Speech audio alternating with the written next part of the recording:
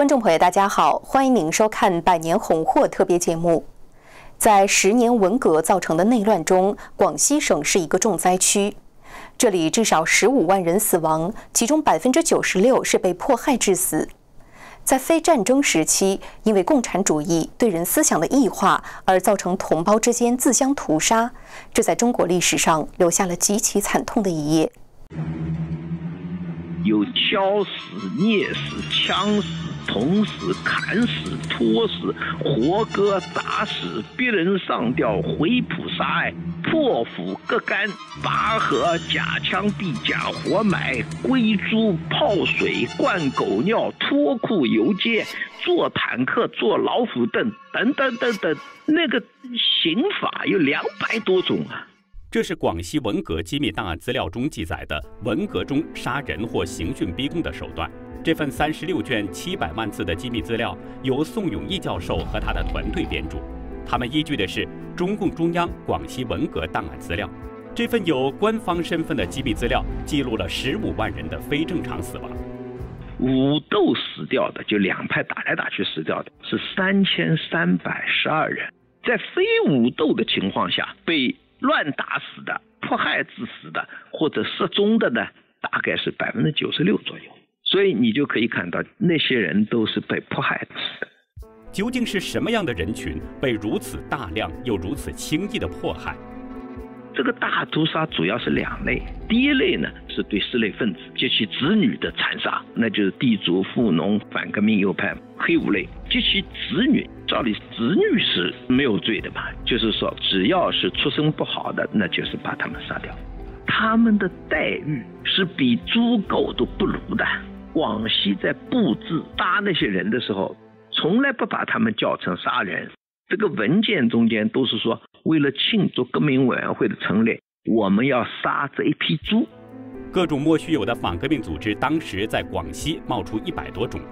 例如，乐业县就找出反共救国团等十九个所谓反革命集团。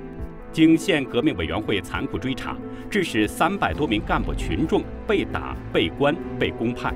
其中就有十二人被斗打死或开枪打死，有四十多人被捕关押，有三十七人被打伤致残。在这场群众专政进行的大屠杀中，起最主要作用的是武装基层干部民兵。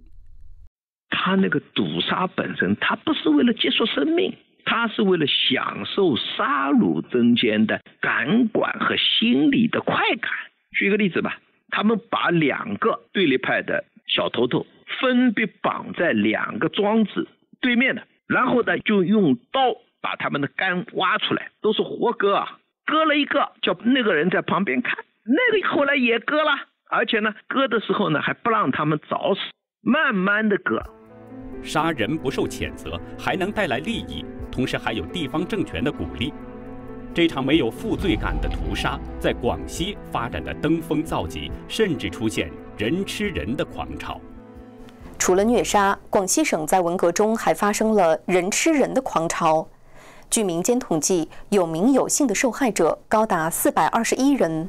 作家郑毅曾两次深入广西，走访五个县进行调查，最早向世界揭露出广西在文革中人吃人狂潮的三个阶段。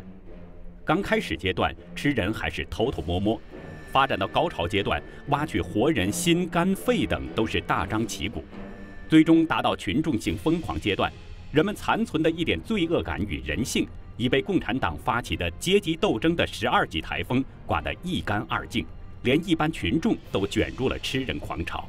而宋永义教授和团队编著的《广西文革机密档案资料》，则依据官方机密资料，揭示出更大规模的惨案。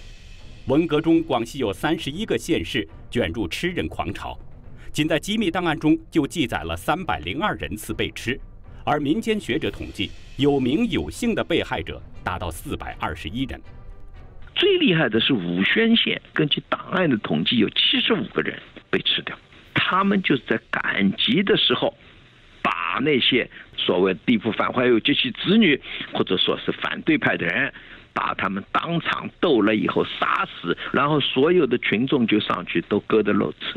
口干啊，吃吃人的甚至包括未成年人。铜陵中学副校长黄家平在批斗中被乱棍打死。第二天上午，学生黄佩农将黄家平的尸体剖腹取肝，女学生张继峰等人将肉割下，只剩骨骼。当天午后，在铜中厨房周围宿舍区檐下用瓦片烘烤人肉的情景举目可见。然而，学者们研究发现，广西人吃人狂潮并不是民间自发，而是国家机器行为。文革期间，广西在全国最独特的两点就是国家机器完整和发生大规模人吃人。公社的革委会主任就在，武装部部长就在。人家叫他说你阻止一下，他说哎，这个是群众运动，我们为什么要阻止？也就是说他支持啊，而且这个中间呢，常常还是武装部长带头。武装部在文革中间来说，它是个国家机器。国家机器直接参与，榜样的力量是无穷的。隆安县一个民兵的例子，显示出国家机器如何逼着人吃人。有一个民兵叫林有元，是个基干民兵。这个人呢，他虽然也是杀人凶手，但是他开始没有吃人。结果那个武装部长姓黄的，就说：“哎，你下去把那个什么人给杀了，杀了以后呢，你把他的肝给我挖出来带回来。”我们要烧了吃，那他当然说这这这这个我怎么能？他就第一次他抵制了。回来的时候呢，那个武装部就警告他说，下一次如果你再不执行这个命令，我们就把你给吃了。后来他就成为杀人、剖腹、挖肝、去胆的一个积极分子了。宋永毅教授在论文中整理出在机密档案中被点名的二百名直接剖腹或取肝的杀人犯、策划犯。其中百分之六十都是国家机器成员，而武宣县百分之八十四的吃人者都是中共党员或干部。而当时红色政权的第一把手韦国清不但没有受到处罚，相反最后官至中共军队总政治部主任、人大副委员长。据说韦国清当时还不满意地反问道：“为什么吃过人的人不能继续当干部？”除了虐杀和杀人食肉。接下来，我们再把目光投向乱世中的弱势群体——女性。作为大屠杀的衍生物，广西文革中对女性的性暴力也是罄竹难书。文革期间，正当广西的军队将百姓当成国民党围剿，红色政权直接参与消灭四类分子及其子女和政治反对派，国家机器成员享受着革命的人肉宴席的时候，另一种特殊暴力也随之蔓延。这就是针对女性的性暴力。最主要的性暴力是什么呢？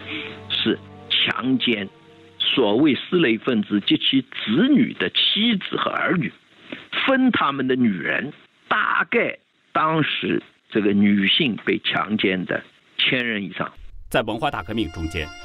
尽管毛泽东等中共领导人过着犬马声色的生活，但普通人在男女关系上稍有不慎就会被扣上帽子，甚至招来牢狱之灾。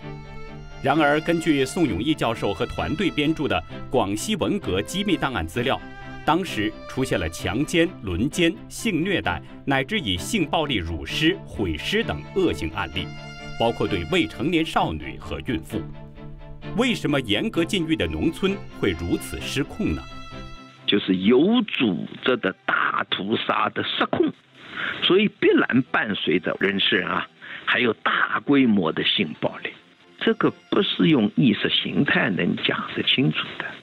广西都是些农民啊，不识字的，他怎么知道什么无产阶级专政下继续革命？他就知道占人家的财产，奸人家的妻女。